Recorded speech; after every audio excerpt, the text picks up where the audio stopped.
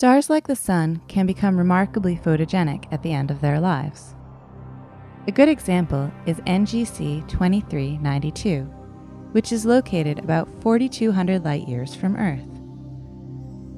NGC 2392, which is nicknamed the Eskimo Nebula, is what astronomers call a planetary nebula. This name, however, is deceiving because planetary nebulas actually have nothing to do with planets. The term is simply a historic relic, since these objects looked like planetary disks to astronomers in earlier times looking through small optical telescopes. Instead, planetary nebulas form when a sun like star uses up all of the hydrogen in its core, which our sun will in about 5 billion years. When this happens, the star begins to cool and expand, increasing its radius by tens to hundreds of times its original size.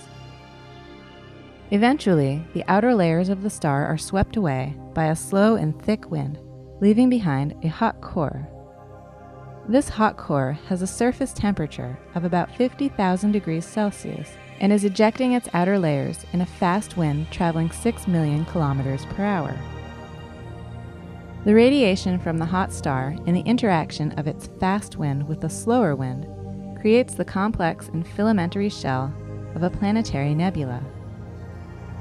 Eventually, the central star will collapse to form a white dwarf star.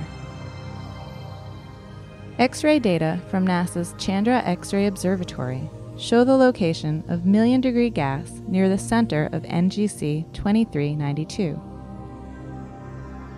Data from the Hubble Space Telescope reveal the intricate pattern of the outer layers of the star that have been ejected.